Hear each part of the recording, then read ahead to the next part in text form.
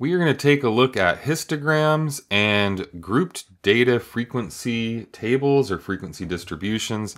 Here we've got, uh, we're starting with the histogram, and what I want to do is just talk about the features of this. So um, I've gone through the process of turning this into a table, and the way I did that is by noting these features. Starting with first the lower class limits. That would be the number on the left side of each bar. So class 1 is this box right here that goes appearing to go from 25 to 30.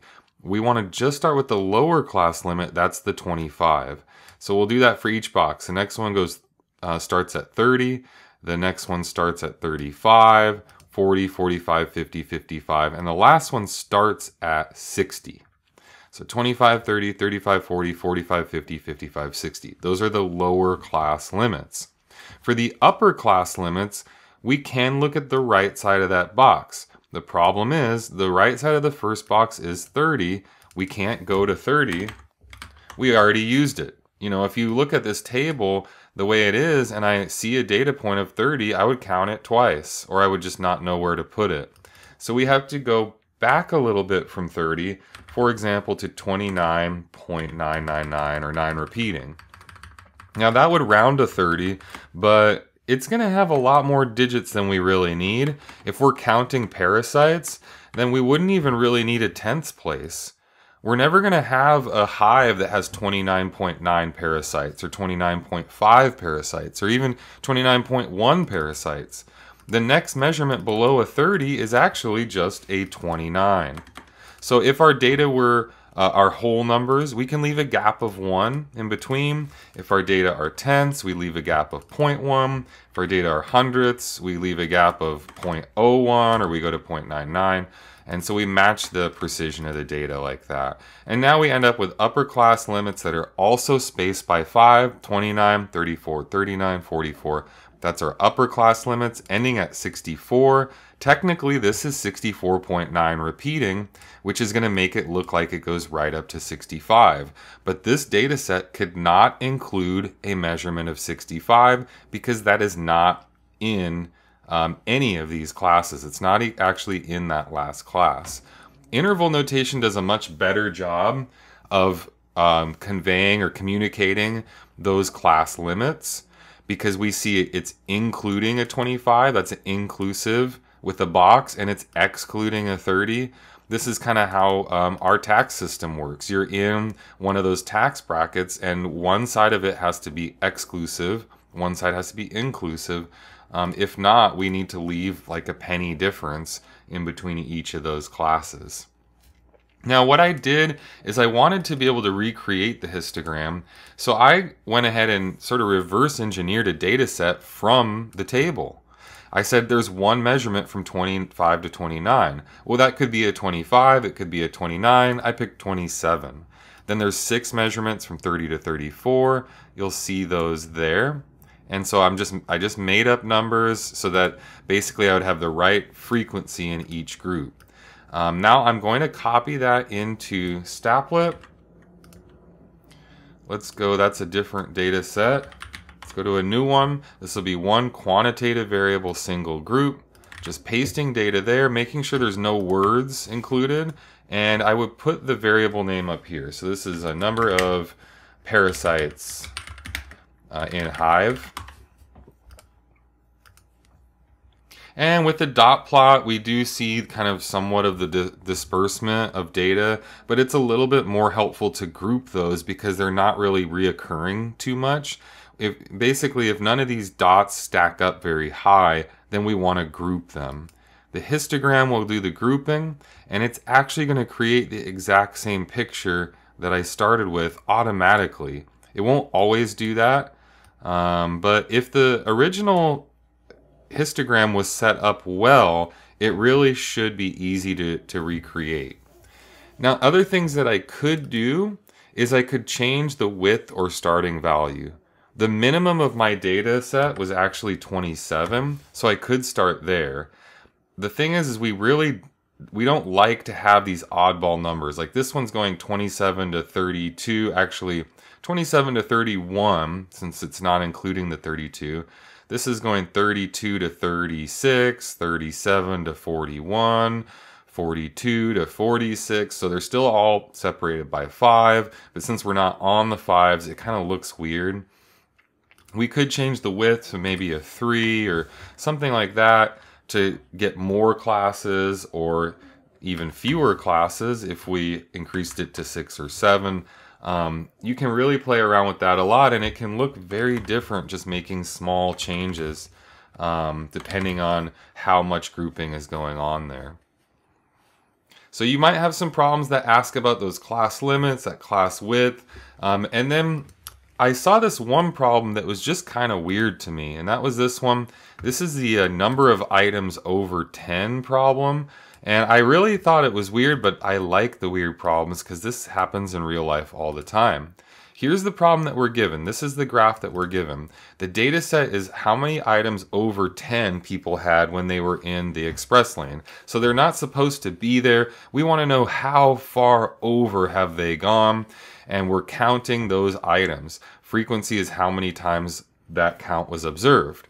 So I've gone in and I've said, okay, first class is 0.5 to 1.5, but it's not including a 1.5. That's open-ended on the right.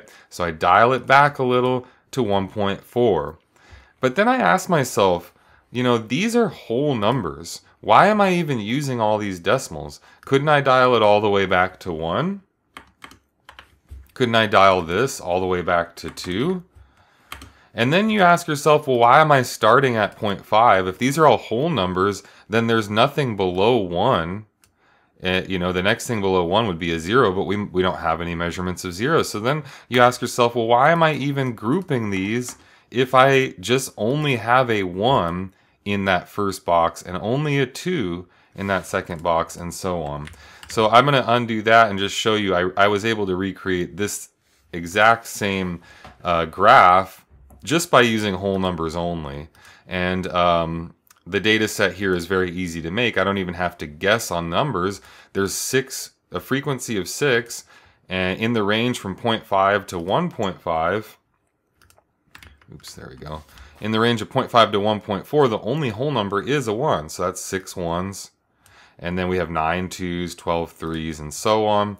If I do paste this into um, the Stapplet, let's see, I might have that. No, I don't have that. If I paste this into the Stapplet, it it doesn't work great as a histogram, and I don't think it's going to show up exactly like that example did.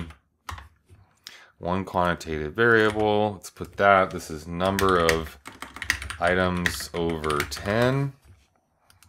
As a dot plot, it's just fine. We could get rid of these 0.5s. They're unnecessary they're kind of there's kind of big gaps there, so it makes it a little tougher to use.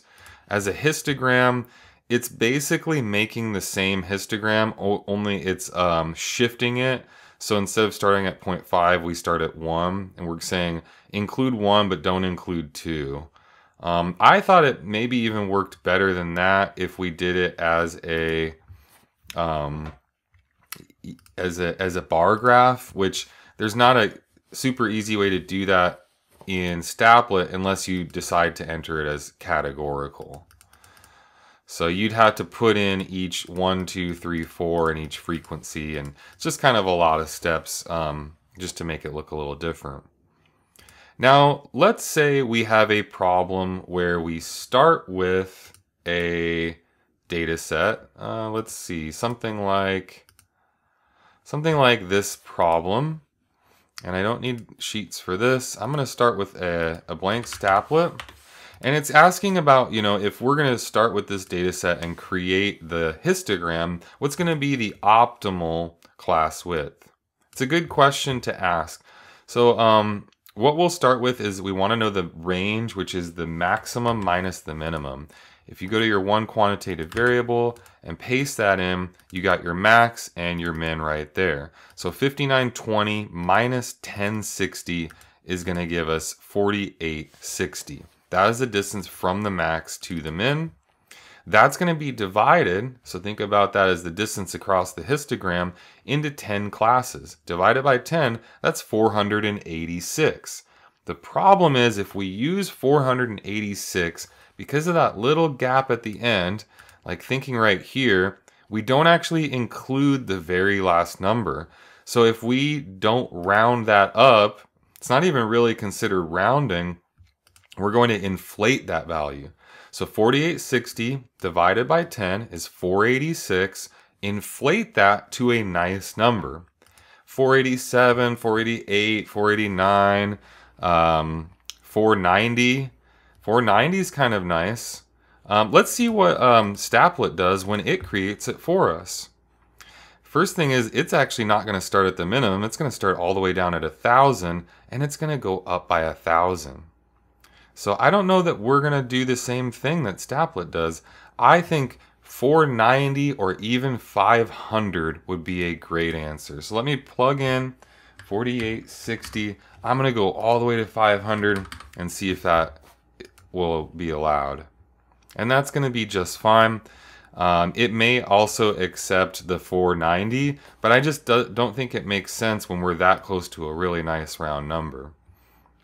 So I could go back over here and change that boundary or that interval width to 500 and that's what we're saying is going to be optimal for that. We should have 10 classes 1 2 3 4 5 6 7 8 9 10 classes.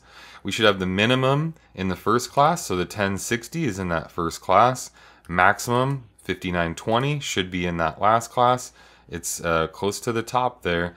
So that's going to be the optimal um, histogram optimal class width